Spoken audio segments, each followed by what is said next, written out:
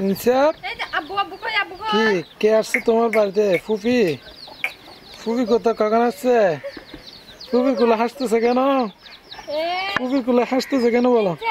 আল্লাহ যে হাসা হাসতেছে। ফুপির কুলে? আমার ফুপিকে আদর করতেছো? আপ্পা আপ্পা দিবে যে।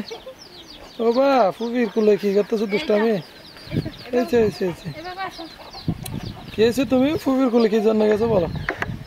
হুম ও বা।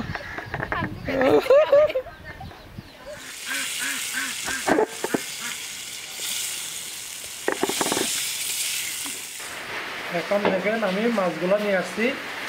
এগুলো হচ্ছে নদীর জোয়ারের পানিতে জাল দিয়ে ধরা হয়েছে, কারণ গ্রামে খুবই পানি হয়ে গেছে। তো সেখানে জাল দিছি, সেখানে অনেকগুলো মাছ পাইছি। দেখেন।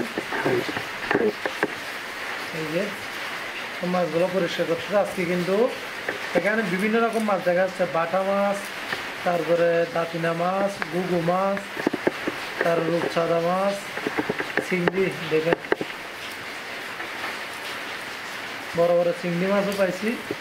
এখান থেকে পরিষ্কার করে আমরা এখানে নিচ্ছি।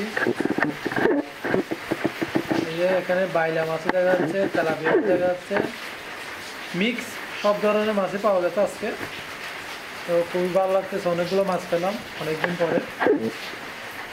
কারণ গ্রামে এরকম তত্তাজা মাছগুলো পাওয়া যায়। তো কষ্ট করলে অবশ্যই এখানে গ্রামে মাছের অভাব হয় না। অনেক ধরনের মাছ পাওয়া যায়, জাল নিয়ে যদি বের হয়। আরও কিছু ছোটো ছোটো মাছ পাইছি এই যে, আমি অন্য এটা একটু দেখাও। হুম। এই যে।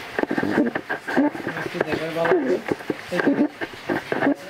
ছোট ছোট মাছ, দেখেন, ছোট ছোট। আর একটা বাইলা মাছ দেখা যাচ্ছে। ওগুলো পরিষ্কার করে এখানে রাখতেছে। দেখেন অনেক মজার মাছ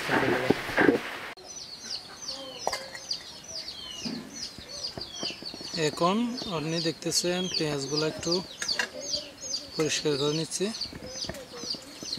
মাছগুলো ধোয়ার পর একটু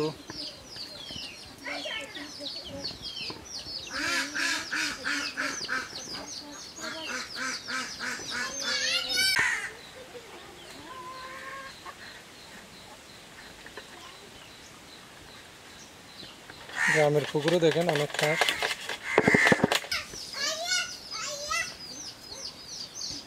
পেঁয়াজটা ভালো কাটতেছে। তারপর একটা মাত্র করালা কাটবে, দেখানো হবে আপনাদের।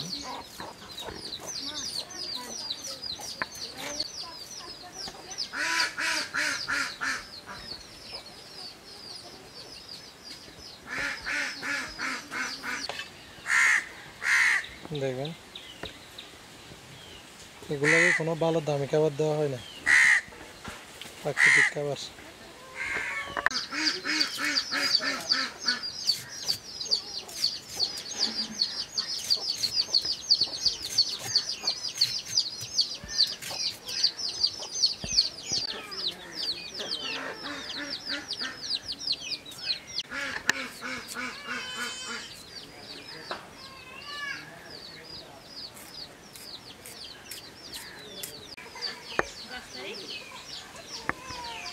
বাইশ তারিখ।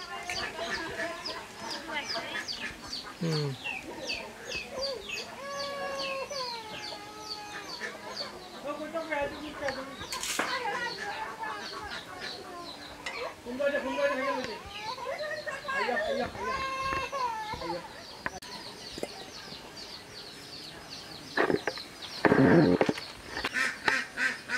তেল দিয়ে দিচ্ছি আমি এখন মাছটা রান্না করার জন্য।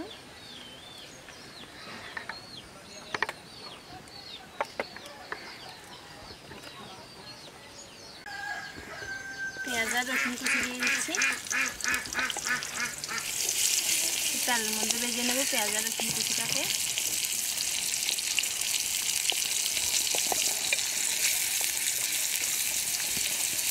মধ্যে চিংড়িগুলো দিয়ে দিচ্ছি আমি।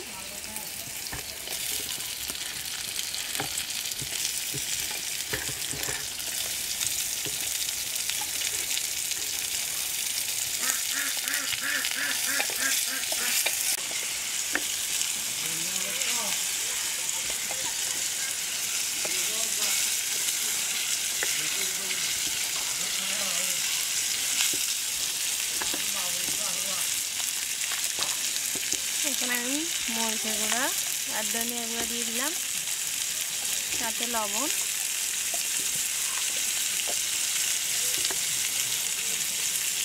হলুদের গুঁড়া দিয়ে দিচ্ছি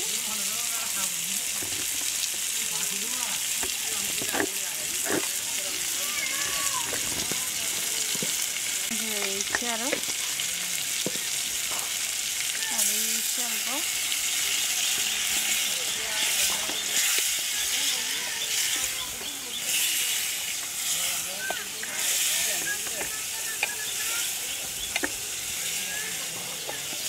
মাছগুলা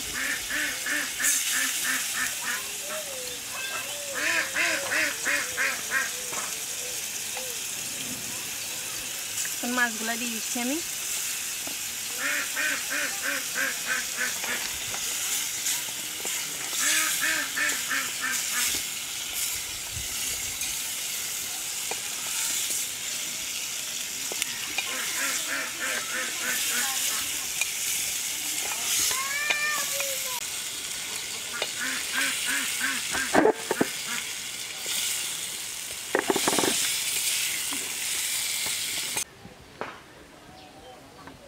এখন তরকারিগুলো একটু একটু ভালোভাবে চামচ দিয়ে উল্টে দিচ্ছি। এখন আমি কাঁকড়টা খেতে মিশিয়ে এটা দিয়ে দিচ্ছি।